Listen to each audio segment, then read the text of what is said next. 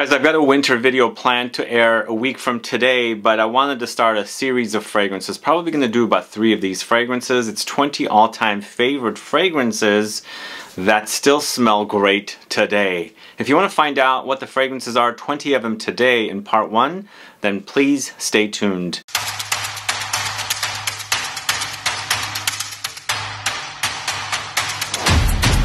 So much for tuning in. This is Sebastian. Yes, today I'm talking about 20 of my all-time favorite fragrances from any year that still smells great today. So there are fragrances that get reformulated that do not smell great no longer smelling great or there's something wrong with it, it's just gotten too thin or something.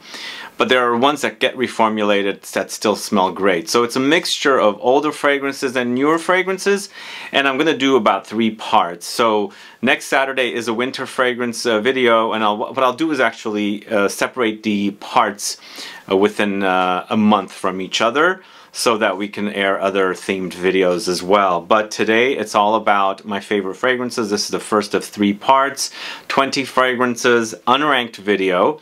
We're gonna go ahead and get started with the first fragrance from the house of Serge Lutens. This is Fille en one of the most difficult names in fragrances, but one of the most beautiful fragrances. It smells super fantastic.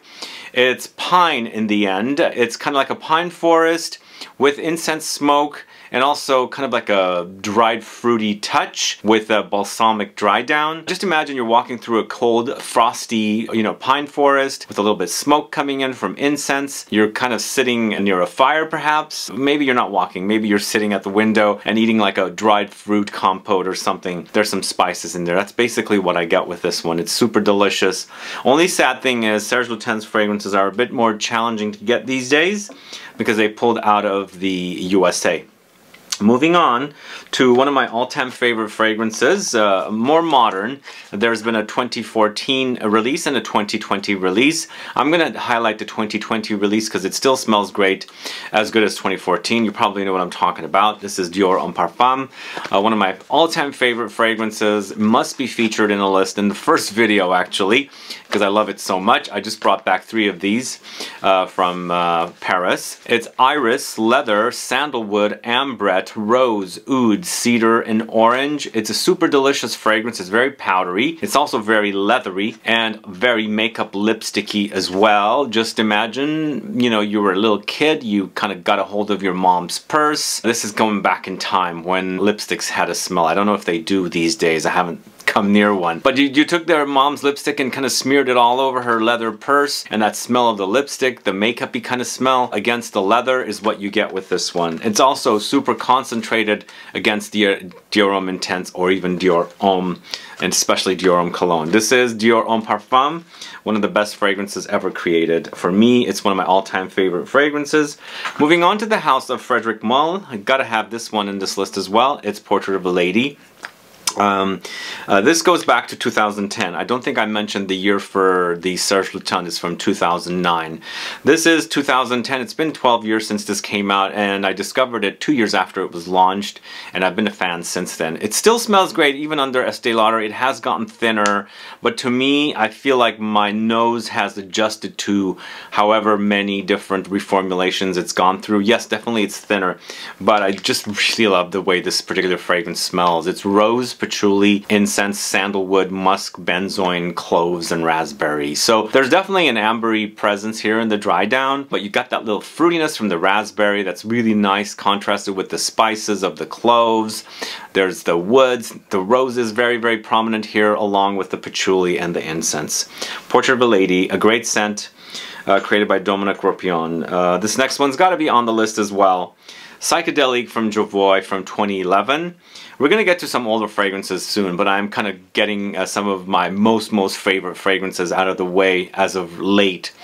Uh, this is uh, about 11 years old, and it's all about patchouli, patchouli with amber, vanilla musk, labdanum, geranium, and rose. You know, the rose is sort of kind of very faint in here. To me, you get a very ambery presence here, and that amber touch with the labdanum and the amber and the vanilla against the very earthy patchouli creates for a chocolate cakey kind of a touch here, like uh, experience. Uh, it's not necessarily gourmand, but I think just a combination of those kind of notes together with the patchouli is what it does.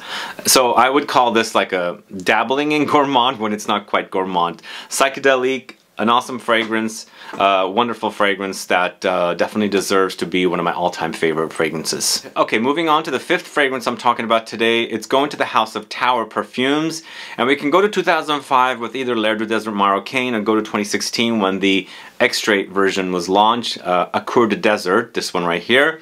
Uh, one of my all-time favorite smells, favorite fragrances. It's super fantastic. I love this fragrance. It smells great.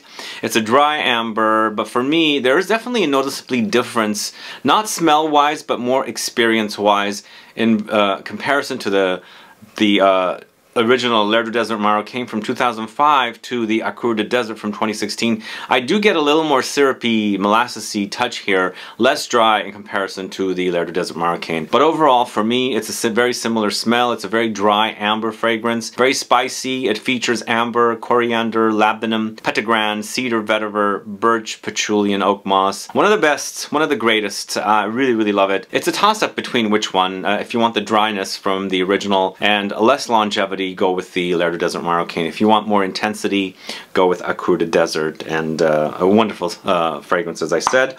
Love it. Moving on to the House of Nishane. This is Ambra Calabria, this one right here. Really a very, very unique smell in fragrances and original in, in a way that I love ambers a lot.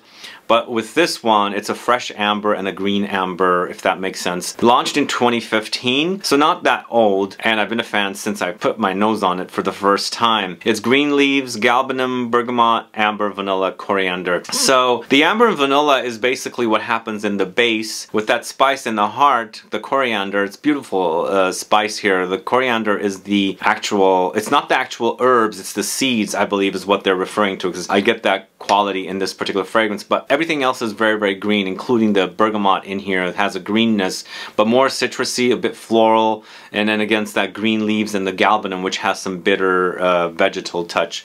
Wonderful fragrance. It's Ambra Calabria from 2015. Super in love with that particular fragrance. Next, going to the house of uh, Maître Parfumeur Gantier. This fragrance dates back to 1988, so we are going back in time a little bit and still smells great today. It's uh, Ambre Perso, one of the best amber fragrances next to the L'air du Désert Marocain. Uh, this is uh, amber, but very, very dense, very, very syrupy, also very spicy and balsamic. Um, so has Tolu balsam here in the base, and you definitely experience that uh, balsamic touch here. And then, of course, it gets resinous for me as well because it has the myrrh note in here. So you've got a very uh, balsamic and resinous touch here with the amber. Of course, some spices spices and aromatics and it's powdery too. And you definitely notice the lavender in here. It has a very aromatic edge to the fragrance. A great scent. If you don't know this one, you gotta know if you're in love with ambers. Ambre Perso from Maître Parfumeur Gantier, uh, a great fragrance. Now we're going back in time to 1979. I'm actually going with a concentrated version of the original fragrance that launched in 79. We're going to the house of Hermes. This is Eau d'Orange Verte or concentrated orange vert is the one I'm featuring here. I first discovered it in 2001 on a trip and I've been a fan since then. The trip I took was to New Orleans, Nolens. Uh, it was very hot in the summer, August, and I walked into a Saks Fifth Avenue store and uh, that's where I discovered the fragrance and I just really loved it because it was so hot and humid and when I just walk in, go right to the fragrance department and spray the stuff on, it really contrasts with your body heat and the cold air inside and that freshness kind of coming and you know wafting when you spray it. I love this stuff, really really great stuff. It's oranges, basil, cedar, patchouli and amber and I feel like there's the branches and the leaves of the orange tree in here because there's definitely a bitterness here but a wonderful fragrance. It's Eau Orange Vert or Concentrate Orange Vert. Concentrate d'Orange Vert from the House of Hermes. Uh, one of my all-time favorite, favorite fragrances. Really in love with that fragrance. Now we're going into some more classics, going back in time to 1973, going to the House of Aramis. It's 900, this one right here. In fact, I just spoke about this fragrance with someone at one of the recent events here in San Francisco at a perfume shop.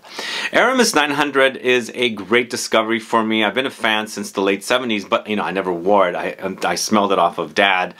And also, I it reminds me of Aromatics Elixir from Clinique. Which are both created by the same perfumer Bernard Chant. And of course, Aramis and Clinique were under Estee Lauder, so they all work together.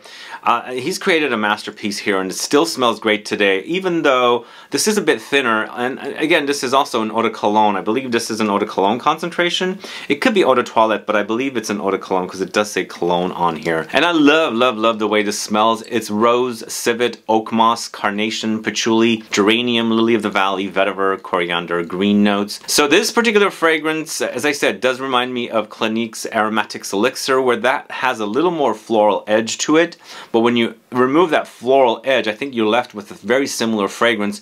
The only other thing is I feel like this is a lot thinner than the Aromatics Elixir, but in here it's all about the oak moss, the patchouli, the rose, the civet, carnation. Smells fantastic. And it still smells great today. Aramis 900 wonderful fragrance. It's thin, but the notes in there have a lingering power, so it doesn't act dense, but they linger, which is what I like about that fragrance. Next fragrance, I don't have the bottle with me. I actually dropped it and broke it uh, as of preparation for this particular video. So uh, it was there was a tiny amount in there, so I have to order another bottle. But I first discovered this fragrance from my dad. He wore it. It's Pour de Caron by Caron uh, from 1934. It's a lavender bomb and it features notes of lavender, lime, ambergris, geranium, vanilla. And the notes together work wonderfully. And it, even though it's targeted to men, I feel like it's a very unisex offering. Women can totally pull that off. It's very cozy. It's basically the combination of the lavender with the vanilla and some musky touches in there and some ambery touches as well from the ambergris. If you like that kind of thing, if you like like an amber fougere experience or a touch, definitely try Pour un Homme de Caron by Caron. Uh, unfortunately, though, there used to be a lot of um, discounted stock out there. I can't find anything anymore, sadly. Moving on to another classic fragrance, but one of my all-time favorite fragrances that still smells great today. Again, all of the fragrances have to smell great today. At least they smell great to my nose. This is Dior Eau Sauvage. So, Dior Eau Sauvage from 1966, another fragrance that my dad wore that I smelled off of him, and uh, I've loved ever since, uh, well, I, ever since I started wearing it. But uh, I love it because um, it's a great freshie for men, but you know, I think women can totally pull this off, even though it leans a little masculine, if that makes sense. So it features notes of lemons, jasmine, bergamot, basil, rosemary, oak moss, coriander, carnation, patchouli, and vetiver. So in the dry down, it does get woody, but there's lots of aromatics here and lots of citruses. It's a very, very fresh, invigorating wear. You can liberally spray this stuff on during the summertime when it's really hot outside, and you leave kind of like woken, like it, it wakes up your senses. Beautiful fragrance. Dior Eau Sauvage. Still smells great today. Absolutely love it. That's from 1966. Next fragrance from 2007 is uh, Tobacco Vanille, this one right here. Yeah, this is definitely one of my all-time favorite smells and it still smells great today even though it's under Estee Lauder probably. They've kind of reformulated it till uh, to death. But I think it's still pretty beastly for me. I don't know about you guys. It lasts and lasts for me uh, and I love it because it reminds me of a, the holidays and I kind of make this to be my Thanksgiving uh, fragrance. So uh, I, I, love the idea of this particular fragrance because it smells like the holidays. The the tobacco is in there and I, I've hung out with family and family friends and relatives too much that they all smoked and not all but most most of them smoked. So you have that, you know, smells of the holidays and cigarette smoke. That's kind of what you have in here. It smells great, by the way. It's tobacco, vanilla, spices, cacao, tonka beans, dried fruits, and woods. The combination is very, very intoxicate, intoxicating. Also garners me compliments, and I really love it for Thanksgiving Day or any day during the holidays. So Tobacco Vanille, it smells fantastic and one of my all-time favorite fragrances that still smells great today. All right, going to the house of Guy Laroche. This is Drakkar Noir from the 1982. I wore four bottles of this uh, during the 80s until the early 90s. And I think it still smells pretty darn good today, even though it's gotten lots thinner than it used to be. Does that make sense? So it's a thin version of what I remember this fragrance being when it was really, really intense. And the way they made fragrances in the 80s is uh, not comparable to the way they make fragrances these days because they were eau de toilette concentrations, but so heavy in comparison to eau de toilettes today that are weak. But anyway, it still smells fantastic. It's a fougere, but a very 70s, 80s style fougere. Wonderful smelling fragrance and one of my dear tier, dear, dear fragrances because it's just a fragrance that totally takes me back to junior high and high school when I started wearing this one. I was wearing it all the time and I smelled great with it. But it's loads of lavender, oak moss, pine needles, mint, bergamot, coriander, wormwood, juniper, lemon, rosemary, verbena, and patchouli. Intoxicating and beautiful, very manly and masculine. It's a fougere barbershop fragrance, one of my all-time favorite fragrances that still smells great today. It's Drakkar Noir uh, from 1982. And another one classic for men, it's Heritage by Guerlain, the Eau de Toilette version from 1992. I believe both versions, Eau de Parfum and Eau de Toilette, both launched in 90, 1992 from what I remember. But again, this is just a wonderful, wonderful fragrance. Really, really great smelling, classic, masculine, a bit like Amber Fougere, not necessarily full-on Fougere, but it has those touches and it kind of takes me in that direction. But it's patchouli, sandalwood, lavender, geranium, juniper berries, amber, oak moss. You know, uh, it'll go down as one of the all-time greatest men's fragrances. I really love the combination of notes, really do. Uh, and even though I've been really getting uh, back into uh, Rouge, uh, this one will always be one of my all-time favorites. Really love it. Guerlain's Heritage and Eau de Toilette Concentration uh, and, uh, from 1992. Always will be one of my all-time favorite fragrances. Next, going to the house of Annick Goutal or Goutal Paris. This is Eau de Hadrien in the male bottle uh, and uh, Eau de Parfum Concentration originally launched in 1981. Uh, still smells fantastic today, although once again, the bottles have gotten a, facelift. I posted about it on Instagram. I recently discovered they got more of a bit of a vintage look on the the the labels on the bottles, but still the bottles look great to me and the smell is super fantastic. It's a tart, citrusy uh, fragrance, uh, lots of lemons, so it's a bit sour, a bit astringent, and of course you've got lemons, cypress, citron, grapefruit, mandarin, aldehydes, and ylang ylang. It's super fresh, perfect in the heat and humidity. It cuts through that warm and kind of cools you off, and that's the kind of fragrance I enjoy in the heat and humidity. It just totally like wakes up your senses and you know you know, wakes you up because you get really exhausted in the heat. I do, at least I do. Uh, the only other thing I should mention is this is a male bottle. They do have feminine bottle, but both of the fragrances are exactly the same. I mean, both fragrances that come in the masculine and feminine bottles are exactly the same. They just do that. I don't know why they do that. But either way, Eau de one of the all-time favorite fragrances of mine. I started wearing it in 1999 and I've been a fan since then. Although my dad wore that one too. It's uh, one of one of his uh, all-time favorites. Up next, going to the House of Creed and this is probably going to be the only Creed that'll be in either of these three videos that I do. This is Royal Oud. I think it's one of my all-time favorite fragrances not only from Creed but ever. I think it smells super fantastic. I really love it.